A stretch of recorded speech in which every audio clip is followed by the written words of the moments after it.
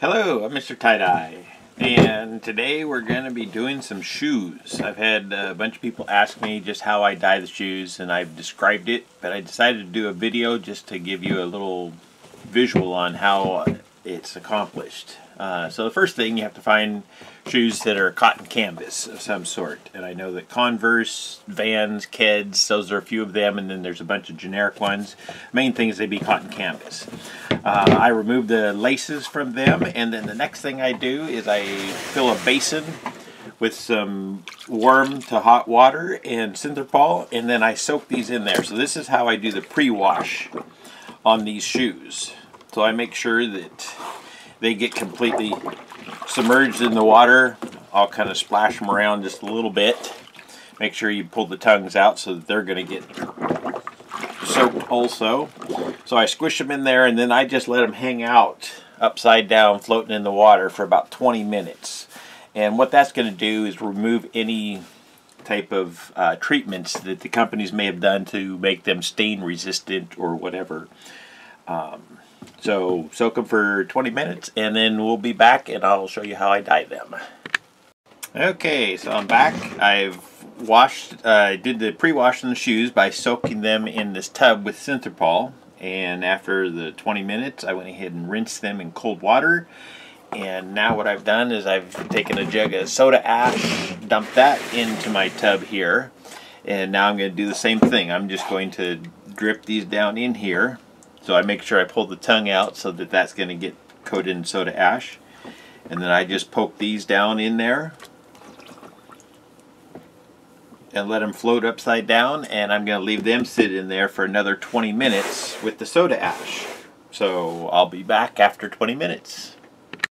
Okay, it's been 20 minutes and the shoes have been soaking here. So now what I'm going to do is spin them out just to get the excess soda ash out.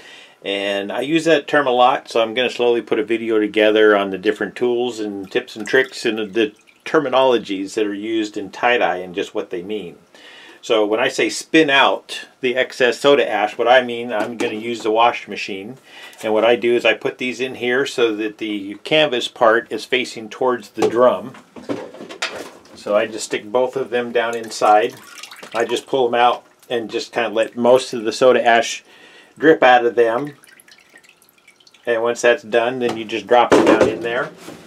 I'll get this out of the way. So I just set them opposite each other down inside the tub here. And then you can just close the lid, put it on spin cycle. But the other thing, you want to make sure if you're going to do any spinning out in your washer, you want to make sure that it doesn't spit water during the, the rinse uh, the spin cycle, which that's something that some washers do and some don't. So if that happens, you can turn your water off back here. Uh, another thing, if you set it to the end of the spin cycle, sometimes that alleviate uh, it stops spraying water at that point. But one way that you can check that, um, if you have one of these washers that has a little tab here on the lid and a little hole that's there's a switch in there that turns this on. So I've already got the washer turned on back here on spin cycle. And if I take just a q-tip or a stick or something poke it in that hole then the washer comes on. And at that point you can look and see if water is spraying out. Usually if it's spraying out it'll be right here just spraying into the tub and it just helps do an extra rinse when it's doing a spin cycle. Well, we don't want that when we're soaking, spinning out soda ash because the water spraying in there is going to dilute the soda ash that we've just soaked in for 20 minutes. So that's one thing you want to check before you actually use your washer. And if that's the case, then you can sometimes set this to the end of the spin cycle instead of at the beginning. And usually by that point, it will have stopped spraying water because your washer needs to spin all the water out before you put them in the dryer. So that's one thing to check before you do this. So I'm going to go ahead and spin these out. I usually just put it on for the full spin cycle here and spin them out and that way then the shoes will be just barely damp. So after that I'll be back and we'll start dyeing these things. Okay, the shoes have been spun out so they're just barely damp now. So what I do when I start dyeing them, first thing is I like to get this tongue out of the way. So I usually kind of put a little bit of a crease in that. You can wrap a rubber band around it, um, but I usually will just put like a clip on there. And that just kind of holds that there in the center so it's not touching the sides of the shoe as I'm working here. And then I have my colors lined out here. And what I do is I just pick them up and I start coloring just kind of randomly. And I'll start at one side and I just work my way all the way around. So that's what I'm going to do here. And the dye is going to spread. Uh, any dye that I get down on the rubber, I try to have a wet rag handy to wipe that off immediately. And then I just color randomly. And these little bottles put out just a little bit of dye, so that allows me to just kind of put it on. When it spreads a little bit, then I add my next color. The main thing to be aware of is like when you're working with orange, um, there's only two colors that aren't going to cause you know it to turn to brown and that's the fuchsia and the yellow so whenever I put orange on I try to make sure that I surround it with some yellow and orange on there let's see if I can zoom in just a bit so other than that the rest of the colors tend to mix pretty well. So I just go along and just randomly color in there. When you're doing the rainbow you can kind of go down the road here and just pick up each one of them and just add a little bit.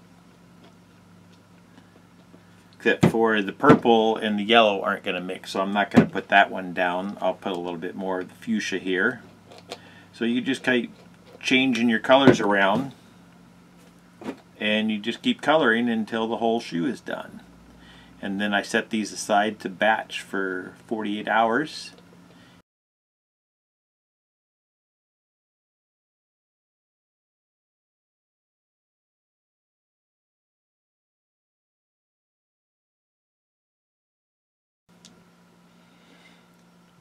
And I'm not really squirting the dye. I kind of tip the bottle until it's level and then I can, I mean, right here, I can see the dye just start to well up right there. So I touch that to the shoe and just kind of let the dye come out. So I'm not actually squeezing the dye out because if you do that, then you're going to get way too much dye on your shoe here and it's going to spread everywhere. So the small tip bottles and I'll put a link to these just in case you don't haven't seen it but I'll put a link to that down in the video description. Uh, I buy these on Amazon. Uh, they hold four ounces so that's nice. And then I just keep working my way around. I just kind of look to see what colors I haven't used recently. You can use as many as or as few colors as you like. And just keep adding them and till you get around. I just do them in random shapes here.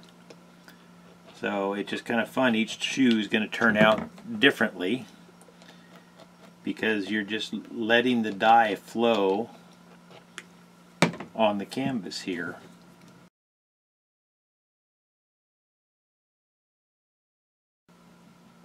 And you don't have to dye it in a random pattern like this. Sometimes I'll do stripes or uh, other designs.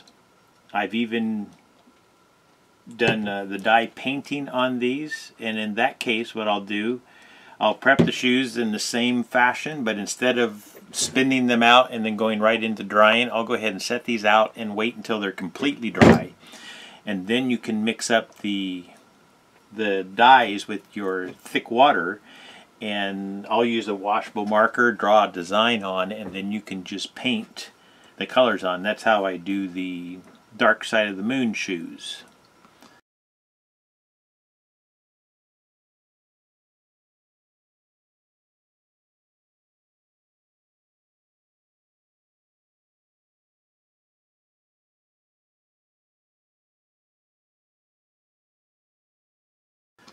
So there's lots that can be done with adding colors. Um, once I get both sides done all the way around, then I'll go ahead and dye the center part here. And I just do the same thing. I just kind of add colors in there. in the same random manner. A little more awkward just because it's on the inside of the shoe here, so you have to just kind of work your bottles around to get down inside there. That's another reason to clamp this clamp this tongue here just to kind of hold things in place.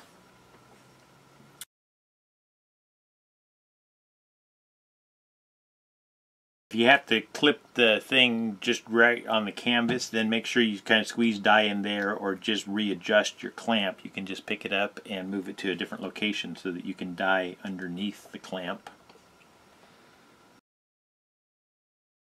Okay, now once I have the tongue done, then what I do is I go back over and I can see, I don't know if you can see on here, but I can see some of these little white fibers sticking up in the shoe. That just means that the dye has soaked in. Since these are made from canvas, there's a, a, thickness to the fabric. So I put the dye on and it was good, but then it slowly soaked down inside. So now what I'm going to do is go back over and just I just put another coat of each color on. And in this case, I'll just pick up one at a time and go along. And every place that I have the fuchsia, I'll just add a little bit more fuchsia to it you want to make sure you don't add too much because then it'll get kind of sloppy. But I like to add just a little bit, especially if I see those little white fibers sticking up. That just means that the, the dye has soaked down inside the fabric and it just needs a little bit more. Otherwise the colors will just come out just a little bit light. It's not that much of a difference, but when you hold them side by side with another pair you did this way, you can tell that that's different. And the same way with the pre-washing. Uh, I've been doing shoes now for 15 years and I've tried all different methods of applying the dye and doing a pre-wash or not pre-washing and I find that it just gives you better colors if you pre-wash and if you add a second coat of dye to them.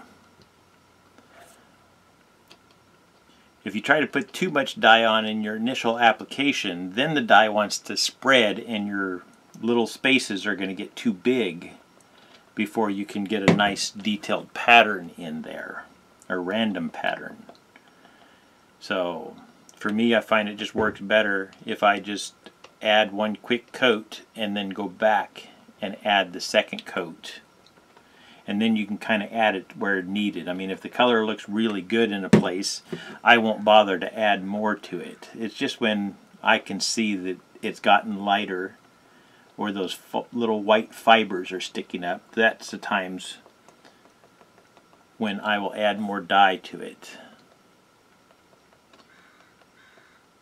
And as I add this dye on here, I can see that it's getting darker. I don't know if you can see the difference in this green dye right here where I've added some more and over here I haven't. You can see that, well if I can hold it right, that it's not the same darkness. So that means that this dye has soaked down inside so it just needs a little touch up.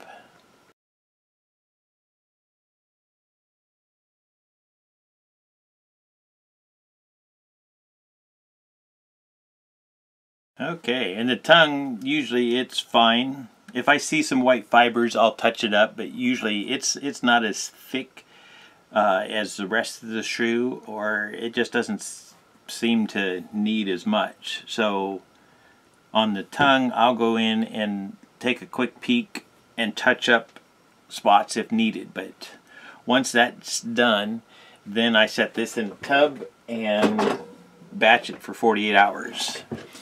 So I'm going to go ahead and dye the other shoe, but you guys don't need to watch that because I'm going to do this the same way. Like I say, the main thing is to have a rag handy, so if you get any dye on the rubber, you wipe that off. Um, and be careful of which colors. Don't put, you know, purple and next to orange or yellow because you're going to have brown where they touch together. So just try to sequester the orange inside there. But all the rest of these, I mean, like these colors here, they all, if they mix together, they're going to be fine. So the orange and the yellow, the main two that I watch to make sure what I put next to them. Other than that, um, I'll be back and I'll show you how I do the washout on the shoes. And I think that's about it. thank you for watching my videos. Please give them a like, thumbs up, and share them wherever you want. Have a nice day. Okay, both of the shoes are dyed and they're ready to batch. And the other thing that I do with batching is I put them on a tub. They're on a rack here. And then I usually will add a couple rags that have been really that are really wet because I'm going to set this outside in the sun with the lid on it and I don't want the shoes to dry out too fast. So I just feel like the, the wet rags in here and a little bit of water in the bottom of this tub is going to help create a humid condition and keep these shoes wet longer so the dye has more time to batch up. So I'm going to batch these for 48 hours and then I'll show you the washout process and then the final shoes in a couple days. Thank you for watching. Okay, so the shoes have now batched for 48 hours. Um, and looking at them, I mean, they're almost completely dry. So, you know, I tried to keep the area humidified by putting those damp rags in there, but they still dry out. But usually 48 hours is a good time frame for the dyes to set up. So for the washing process, I start out by rinsing them in the sink with cold water. And that's going to help remove some of the soda ash before the, the excess dyes start moving around. So I just usually will just kind of give them a little bit of a, a rub down under the cold water just to get that soda ash moved along.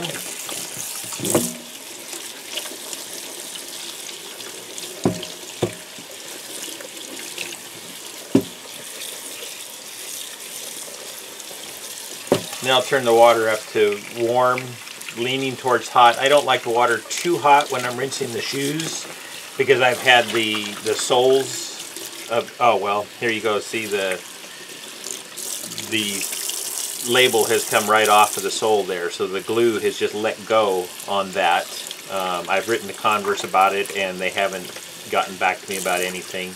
Uh, I usually buy some of that adhesive spray and just glue that back down but yeah that's kind of a problem. Uh, and it happens obviously even in just warm water but hot water is even worse on these. So but once I am done rinsing then I place these into a tub that has soda ash or Synthrapol and warm to hot water on it. So now what I'm going to do is just let these soak once again upside down and I'll come back two or three times and change this water. Right now the water's clear, but in a half hour or so that water is going to have some dye in it. So we'll rinse the shoes again and then I'll have more hot water or warm water and we'll keep rinsing them. Okay, so you can see the dye that's coming out of these shoes down in there. Guess I had it just perfect there before. So what I'm going to do now is take these shoes, I'm going to rinse them and then uh, put more hot water in and soak these again. But you can see the, the color of the water there is kind of dark and it's still just slightly warm. So we'll do this a couple more times whenever the water looks like it's about clear after a 30 minute soak then that's the time that I'll give them one final rinse and then I'll put them back in the washer do a spin out and then I'll reshape the heels. That's something I usually do is I just kind of push on these heels. Sometimes they'll get bent in you can kind of feel it. But while it's wet you can reshape that heel and then I set them out to air dry. And once they're completely dry then I'll have to do a repair on this as this here sole came off of there. So I'll do some spray adhesive and get that repaired also. Thank you for watching my videos. Please give them a thumbs up, like, and share.